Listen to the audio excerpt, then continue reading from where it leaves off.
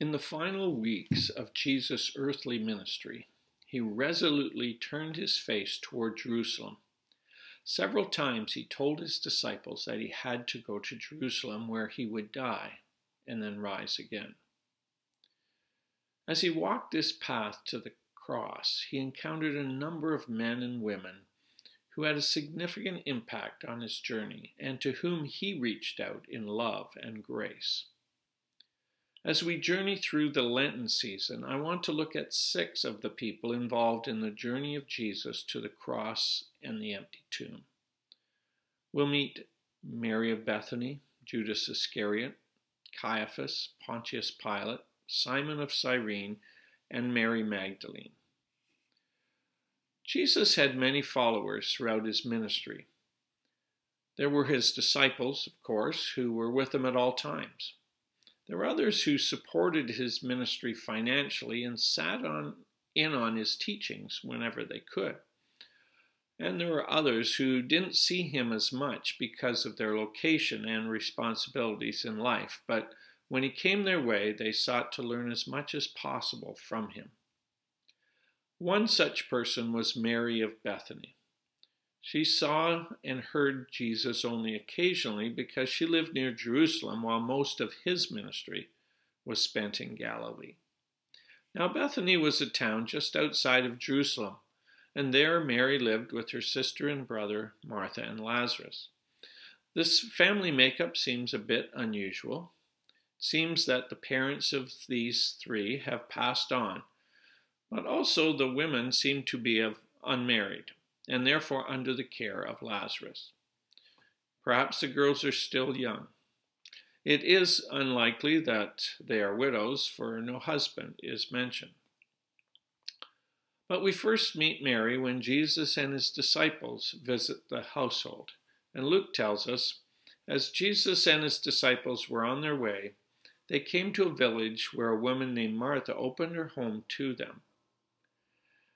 She had a sister called Mary who sat at the Lord's feet listening to what he said. But Martha was distracted by all the preparations that had to be made.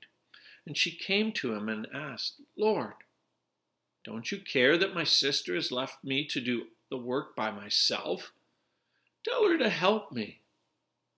Martha, Martha, the Lord answered, you are worried and upset about many things but few things are needed, or indeed only one. Mary has chosen what is better, and it will not be taken away from her. Now, Jesus and his disciples are enjoying the hospitality of this family in Bethany, and as would be customary, food and refreshments were being prepared, and probably accommodations for the night. And this was the work of women. Martha, of course, was dutifully engaged in that task, scurrying here and there to make things ready. And then she notices her sister has thrown aside both social custom and her responsibilities and is seated with the men listening to Jesus. Now, normally men would recline on couches or sit in chairs when they were visiting together. But the disciples would sit at the feet of the rabbis. Serious disciples would be preparing to be teachers and following the teachings of their rabbi. And so Mary's behavior here demonstrates that she wants to be a disciple and a proclaimer of Jesus' message. Martha, on the other hand, feels her sister is slacking off, not fulfilling the responsibilities that fall to women, and points this out to Jesus. No doubt Martha expected Jesus to reprove Mary, but instead he shockingly approves of Mary's behavior. While hospitality is important, he says, Mary has discovered something of greater importance listening to the rabbi. Jesus' response to Martha's complaint also challenges the model of discipleship in the first century. By praising Mary for choosing the place of a disciple, Jesus is stating that the role of the disciple and future minister of his message is open to women as well. Are we not like Martha sometimes, busily engaged in doing things for Jesus, but forgetting that Jesus wants us to spend time with Him? When we're too busy to spend time in the presence of Jesus and sit listening to Him, we miss out on the great blessings He has for us. Just imagine you have some very special guests come to your house for a visit. Of course, you want to give them the best. And so while they relax in your living room, you bustle about, cooking a wonderful roast beef dinner, baking a pie, making coffee, cleaning the bathroom, but never sit to visit with them.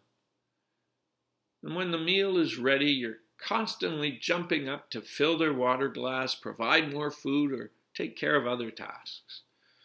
And soon they have to leave. And after they've gone, you realize that in all your busyness, you didn't really visit with them. You never really took the time to sit and listen to their stories, answer their questions, or ask your own. Well, Jesus wants us to be like Mary and take time with Him. Now, the next time we see Mary, she's grieving. Her brother Lazarus has died. When he was sick, they sent a message to Jesus, but Jesus delayed his coming, and when he finally arrived, Lazarus had been buried for four days. Martha went out to meet Jesus, but Mary stayed at the house. And then when Martha returned and called Mary, Mary approached him. And we read, Mary reached the place where Jesus was and saw him. She fell at his feet and said, Lord, if you had been here, my brother would not have died. In Mary's words, we hear her anguish and her anger, but also an expression of great faith. Mary believed Jesus could have and would have healed Lazarus had he arrived in time. But now she was heartbroken. Not only was there a deep love and devotion to her sibling, but of course, in that culture, women on their own were in a rather precarious position and situation. Jesus is moved by her grief. And indeed, he feels it himself. He is moved to tears. We read that Jesus was deeply moved in spirit and troubled. The writer of Hebrews reminds us of Jesus' compassion and understanding when he writes, We don't have a high priest who's out of touch with our reality. He's been through the weakness and t- testing, experienced it all, all but the sin. So let's walk right up to him and get what he is so ready to give. Take the mercy, accept the help. Jesus is tender and compassionate towards Mary. He grieves with her. And then he does the unimaginable and raises Lazarus to life. Imagine what Mary felt. I mean, one moment she's filled with deep grief, and the next there's this overwhelming joy. After this amazing event, Mary's love and devotion to Jesus only grew deeper. Jesus had told Martha, I am the resurrection and the life. The one who believes in me will live even though they die, and whoever lives by believing in me will never die. And now Mary and Martha and many others saw a display of Jesus' resurrection power. A dead man had been raised to life. Now, healing a sick person, restoring the sight of the blind, giving strength to useless limbs, calming storms, feeding a multitude with a small lunch, such miracles are terrific, but paled in comparison to giving life to the dead. The fact that Lazarus has been entombed for four days left no doubt that he had been dead. Now there was no doubt he was alive. And this led to two reactions. We read that many put their faith in Jesus, but that the priests, the chief priests, and others determined to kill Jesus before something happened which might destroy their grip on power. But what about Mary? Certainly, she was overwhelmed by this act and longed to show her gratitude. And we read in John 12, six days before the Passover, Jesus came to Bethany where Lazarus lived, whom Jesus had raised from the dead. Here a dinner was given in Jesus' honor. Martha served, while Lazarus was among those reclining at the table with him. Then Mary took about a pint of pure nard, an expensive perfume, and she poured it on Jesus' feet and wiped his feet with her hair and the house was filled with the fragrance of the perfume. But one of his disciples, Judas Iscariot, who was later to betray him, objected. Why wasn't this perfume sold and the money given to the poor? It was worth a year's wages. He did not say this because he cared about the poor, but because he was a thief. As keeper of the money bag, he used to help him to what was put into it. Leave her alone, Jesus replied. It was intended that she should save this perfume for the day of my burial. You will always have the poor among you, but you will not always have me. So John records that a dinner was held in Jesus' honor. While the dinner took place in Bethany, Matthew tells us it was held at the home of Simon the leper. Now, obviously, Simon had been cured of his leprosy, quite probably healed by Jesus. Once again, we see Martha is serving, even though it's Simon's house. While Lazarus, Simon, and others are reclining at the table, Mary appears, breaks open a jar of expensive perfume, and pours it over Jesus' feet, and then wipes his feet with her hair. Now, this was shocking to the guests for a number of reasons. First of all, because of social convention decent women kept their hair covered in public.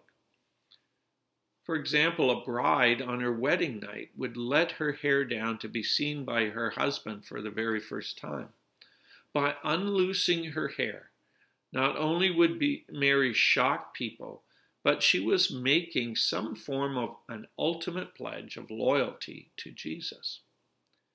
And so Mary, without concern for others' opinions, acted to show her love and devotion to Christ. It reminds me of the time that David had the Ark of the Covenant brought into Jerusalem. In the celebration, David stripped down to a simple linen robe and danced with abandon in the streets. His wife Michal took offense, believing his actions brought disgrace on the king. David responded, I will become even more undignified than this, and I will be humiliated in my own eyes. But by these slave girls you spoke of, I will be held in honor. David was devoted to the Lord and focused on showing his love and praise to God, not caring what others thought. The second thing that would shock people by Mary's actions was the expense of it. This perfume, we're told, was worth about a year's wages. Now, in today's terms, that would be nearly $30,000 at minimum wage. It's no surprise that Judas Iscariot objected and voiced what no doubt others were also probably thinking. Now, of course, we find out that Judas's motives were selfish. He was thinking of how much money he could have stolen for himself. But Jesus immediately cast those objections aside. it was intended that she should save this perfume for the day of my burial. Jesus knew what lay ahead his sacrificial death and resurrections. The Jews did not embalm their dead, but they did wrap the body and anoint it with perfume or spices that would help mask the stench of a decaying body. Pastor Paul Nielsen of the Lutheran Church in Waterville, Maine, writes this Somehow, Mary accepts the fact that Jesus is going into Jerusalem and that he will be arrested and die. Unlike the disciples, she does not try to dissuade Jesus from going to Jerusalem. She accepts it. Somehow, she understands that this is something he must do to accomplish his mission. And when I say somehow, I do not mean magically. I mean as a result of having sat at his feet and listened to him with an undivided attention. This is how the Holy Spirit works true faith in us. Just how much Mary understood, we're not told but her love and devotion are clearly expressed. And Jesus commends her for her sacrificial expression of devotion to him. She has done what she could. Mary began by sitting at the feet of Jesus and listening to his teaching.